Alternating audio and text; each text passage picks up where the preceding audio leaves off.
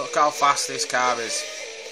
It looks like it's in speeding up motion, but it's not. That's his actual time.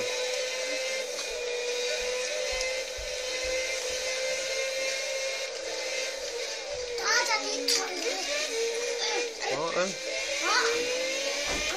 Look how fast it is. It is so fast. You cannot lose with this car. You cannot lose any race. It sticks to ground like it's glued there, man.